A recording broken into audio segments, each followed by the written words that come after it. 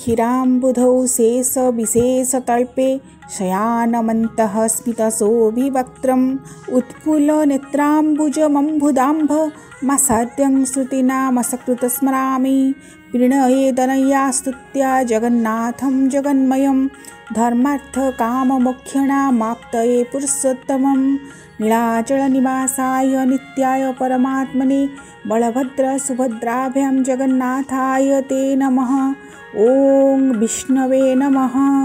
सन्तकारं भुजगशयनं पद्मनाभं सुरेशं विश्वाधारं गगनसदृशं मेघवन्नं सुवाङ्गं लक्ष्मीकान्तं कमलनयनं जोगिर्भिध्यानगम्यं वन्दे विष्णुभवभयहरं वन्दे सर्वलोकैकनाथम्।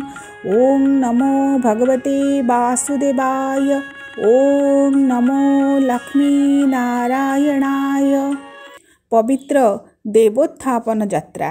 କାର୍ତ୍ତିକ ମାସ ଶୁକ୍ଳପକ୍ଷ ଏକାଦଶୀ ତିଥିରେ ମହାପ୍ରଭୁଙ୍କର ଏବଂ ଶ୍ରୀମନାରାୟଣ ବିଷ୍ଣୁଙ୍କର ଯିଏ ଏକ ଏବଂ ଅଭିନ୍ନ ତାଙ୍କର ପବିତ୍ରତମ ଦେବୋତ୍ଥାପନ ଯାତ୍ରାକୁ ପାଳନ କରାଯାଏ। ମହାପ୍ରଭୁଙ୍କର ପ୍ରସିଦ୍ଧ ଦ୍ୱାଦଶ ଯାତ୍ରା ମଧ୍ୟରେ ଅନ୍ୟତମ ଏହି ଦେବୋତ୍ଥାପନ ଯାତ୍ରା କାର୍ତ୍ତିକ ଶୁକ୍ଳ ଏକାଦଶୀରେ ପାଳିତ ହୋଇଥାଏ ଏବଂ ଏହି ଦିନ ଚାରି ମାସ ନିଦ୍ରା ଯାଇଥିବା ସ୍ୱୟଂ ଶ୍ରୀମନାରାୟଣ ବିଷ୍ଣୁ ନିଦ୍ରାରୁ ଉଠି ଜାଗ୍ରତ ହୋଇଥାନ୍ତି। ତେଣୁ ଯେହେତୁ ତାଙ୍କର ଉତ୍ଥାପନ ହୁଏ ବା ତାଙ୍କୁ ନିଦ୍ରାରୁ ଜାଗ୍ରତ କରାଯାଏ ଏହା ଦେବୋତ୍ଥାପନ ଯାତ୍ରା ନାମରେ ପ୍ରସିଦ୍ଧ। ପୁରାଣ ଶାସ୍ତ୍ରମାନଙ୍କର ବର୍ଣ୍ଣନା ଅନୁଯାୟୀ ଭଗବାନ ଶ୍ରୀହରି ଶ୍ରୀମନାରାୟଣ ବିଷ୍ଣୁ ଚତୁର୍ମାସ ଧରି ଚାରି ମାସ ଧରି ଶୟନ କରିଥାନ୍ତି। ଆଷାଢ଼ ଶୁକ୍ଳ ଏକାଦଶୀ ପବିତ୍ର ହରିଶୟନୀ ଏକାଦଶୀ ଅବସରରେ ଶୟନ କରି କାର୍ତ୍ତିକ ଶୁକ୍ଳ ଏକାଦଶୀ ଦେବୋତ୍ଥାପନ ଏକାଦଶୀରେ ନିଦ୍ରାରୁ ଉତ୍ଥିତ ହୋଇଥାନ୍ତି। ତେଣୁ ଏହାକୁ ଦେବୋତ୍ଥାପନ ଯାତ୍ରା ବୋଲି କୁହାଯାଏ ଏବଂ ଏହାକୁ ପ୍ରବୋଧିନୀ ଏକାଦଶୀ ବୋଲି ମଧ୍ୟ କୁହାଯାଏ। ଏହି ଦିନ ଭଗବାନ ଶ୍ରୀମନାରାୟଣ ବିଷ୍ଣୁଙ୍କୁ ଧୂପ ଦୀପ ନୈବେଦ୍ୟ କୀର୍ତ୍ତନ ବାଦ୍ୟ ନୃତ୍ୟ ସ୍ତୋତ୍ରାଦି ପାଠ ପୂର୍ବକ ପ୍ରାର୍ଥନା କରି ନିଦ୍ରାରୁ ଜାଗ୍ରତ କରିବାର ବିଧି ରହିଛି।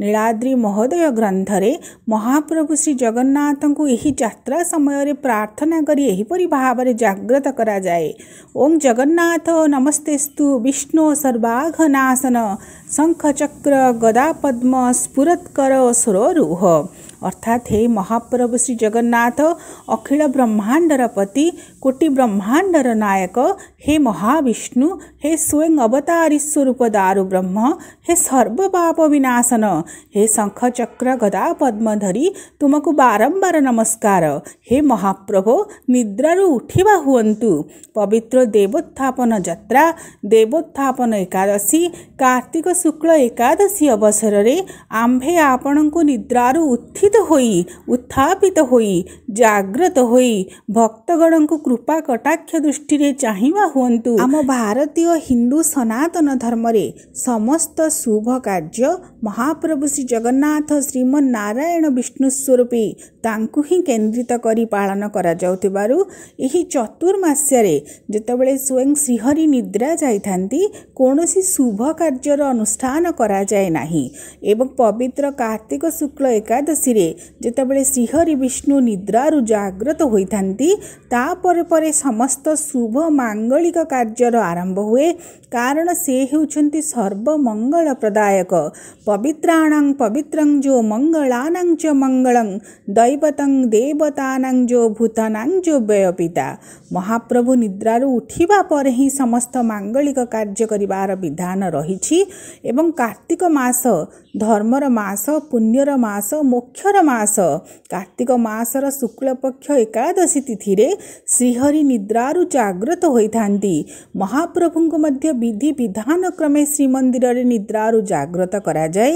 ଏହି ଦିନ ସକାଳ ଧୂପ ଏବଂ ବାଳ ଧୂପ ସରିବା ପରେ ତିନି ବାଡ଼ରେ ବନ୍ଦାପନା ସରି ଏକାଦଶୀ ନୀତି ସହିତ ଦୈନନ୍ଦିନ କ୍ରମରେ ବଡ଼ସିଂହାର ଭୋଗ ହୁଏ ଏବଂ ଶୟନ ଏକାଦଶୀ ବିଧିରେ ମହାସ୍ନାନର ପୂଜା କରାଯାଏ ଏବଂ ଏହା ସହିତ ସମ୍ପୃକ୍ତ ସେବକମାନେ ଖଟଶେଜ ଘର ଯେଉଁଠାରେ ମହାପ୍ରଭୁ ନିଦ୍ରା ଯାଇଥାନ୍ତି ହରିଶୟନୀ ଏକାଦଶୀ ଠାରୁ ସେଠାକୁ ଯାଇ ଶୟନ ପେଡ଼ିର ମୁଦ ଭାଙ୍ଗି ଠାକୁରମାନଙ୍କୁ ବିଧିପୂର୍ବକ ପ୍ରାର୍ଥନା କରନ୍ତି।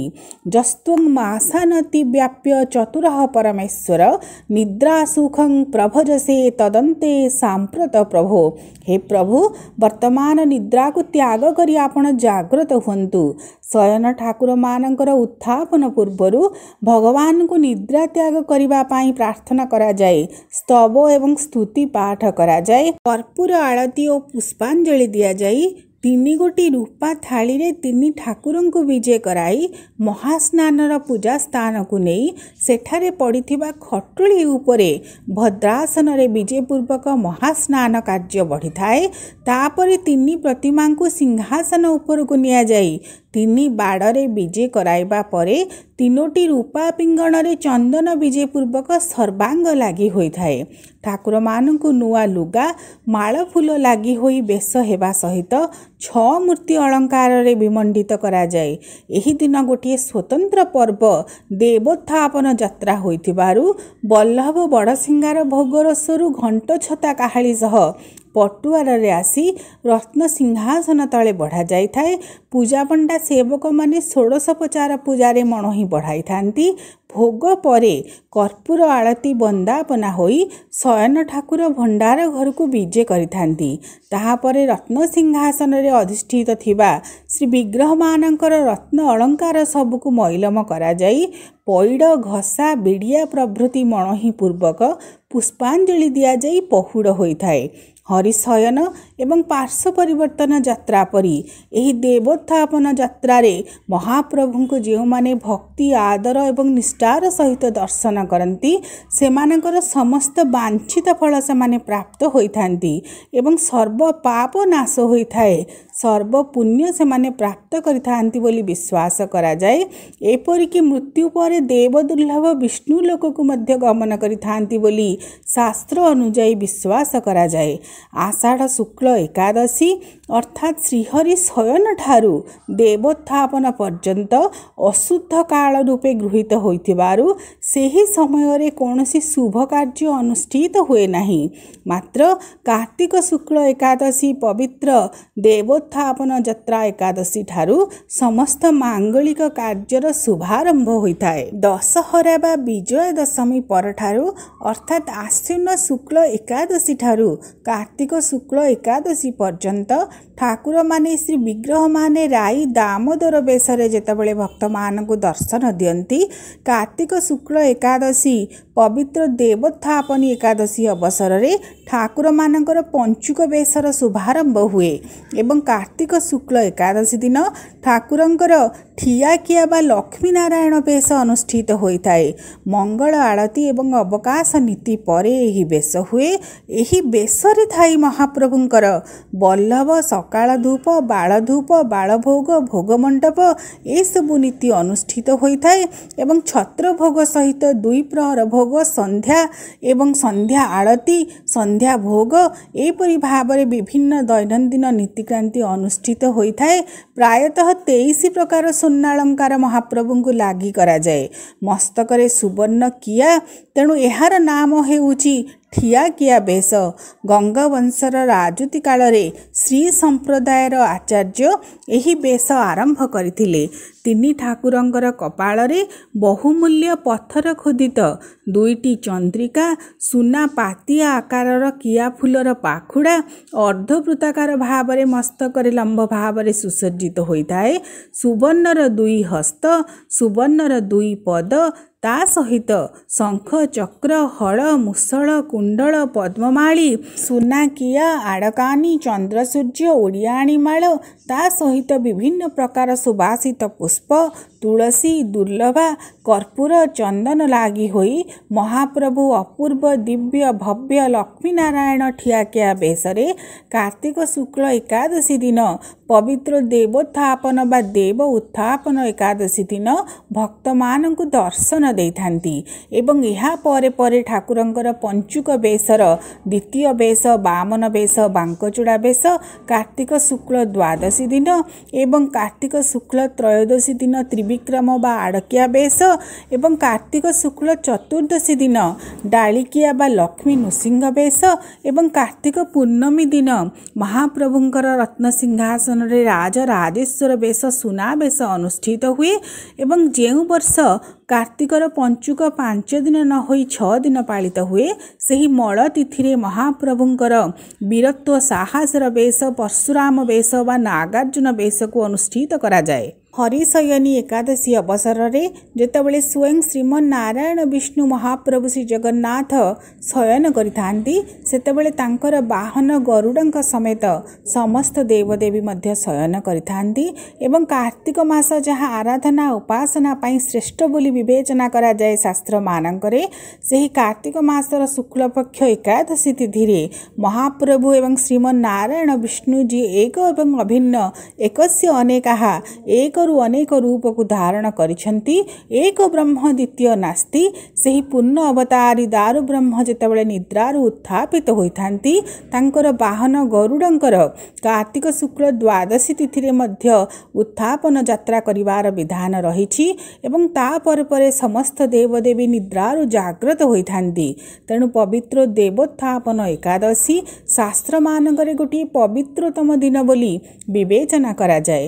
କାର୍ତ୍ତିକ ମାସ ଧର୍ମର ମାସ ହୋଇଥିବାରୁ କାର୍ତ୍ତିକ ମାସରେ ଏହି କାର୍ତ୍ତିକ ଶୁକ୍ଳ ଏକାଦଶୀକୁ ଶ୍ରେଷ୍ଠ ଦିନଟି ବୋଲି ବିବେଚନା କରାଯାଏ। ଏହି ଦିନ ମଧ୍ୟ ଅନେକ ସ୍ଥାନମାନଙ୍କରେ ତୁଳସୀ ବିବାହ କରାଯାଏ।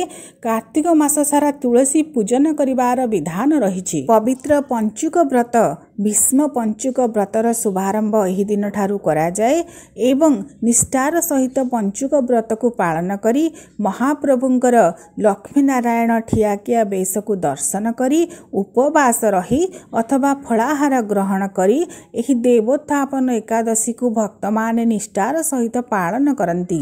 ଶାସ୍ତ୍ରରେ କୁହାଯାଇଛି ଯାବଜ୍ଜୀବଂ କୃତ୍ୱା ଏକାଦଶ୍ୟାଂ ନ ସଂଶୟ। ଅର୍ଥାତ୍ ଜୀବନ ଥିବା ପର୍ଯ୍ୟନ୍ତ ଏକାଦଶୀ ଯଦି ନିଷ୍ଠାର ସହିତ କରାଯାଏ ବିଷ୍ଣୁଙ୍କର ଅବହେଶ କୃପା ମନୁଷ୍ୟ ପ୍ରାପ୍ତ ହୋଇଥାଏ ଏବଂ ବିଷ୍ଣୁ ଲୋକକୁ ଗମନ କରିଥାଏ। ତେଣୁ ମହାବିଷ୍ଣୁଙ୍କର ଉତ୍ଥାପନ ଉତ୍ଥିତ କାଳରେ ଯେଉଁମାନେ ତାଙ୍କୁ ଦର୍ଶନ କରିଥାନ୍ତି ଏବଂ କାର୍ତ୍ତିକ ଶୁକ୍ଳ ଏକାଦଶୀ ପବିତ୍ର ଦେବୋତ୍ଥାପନ ଏକାଦଶୀରେ ତାଙ୍କୁ ହିଁ ସ୍ମରଣ ପୂର୍ବକ ଏକାଦଶୀ ବ୍ରତକୁ ପାଳନ କରିଥାନ୍ତି ସେମାନେ ଅଶେଷ ପୁଣ୍ୟ ଫଳ ଲାଭ କରିଥାନ୍ତି। ମତ୍ସ୍ୟକୁର୍ମଂ ବରାହଂ ଚ ବାମନଂ ଚ ଜନାର୍ଦ୍ଦନಂ गोविन्दं पुण्डरिकाख्यं माधवं मधुसूदनं। पद्मनाभं सहस्राख्यं वनमालिं हळायुधं गोवर्धनं हृषिकेशं वैकुण्ठपुरुषोत्तमं विश्वरूपं वासुदेवं रामं नारायणं हरिं दामोदरं श्रीधरं च वेदाङ्गं गरुडध्वजम् अनन्तं कृष्णगोपालं जपतो नास्ति पातकं गवाङ्कुटिप्रदानस्य अश्वमेधशतस्य च कन्यादानसहस्राणां फलं प्राप्नोति मानव अमायां वा पौर्णमस्याम् एकादश्यां तथैव च। ମହାପ୍ରଭୁ ଶ୍ରୀ ଜଗନ୍ନାଥ ଶ୍ରୀମନାରାୟଣ ବିଷ୍ଣୁ ଏବଂ ସର୍ବଦେବଦେବୀଙ୍କର ପଦାର ବିନ୍ଦରେ ଅଶେଷ ପ୍ରଣିପାତ ଜଣାଇ କାର୍ତ୍ତିକ ଶୁକ୍ଳ ଏକାଦଶୀରେ ଏକାଦଶୀ ବ୍ରତକୁ ପାଳନ କରି ତାଙ୍କୁ ହିଁ ସ୍ମରଣ ପୂର୍ବକ ଧ୍ୟାନ କରି ନିଜର କର୍ତ୍ତବ୍ୟ କରିବା ହିଁ ମନୁଷ୍ୟ ପକ୍ଷରେ ଏକମାତ୍ର ବିଧେୟ। ଓଂ ଶ୍ରୀ ଜଗନ୍ନାଥାୟ ନମୋ ନମଃ।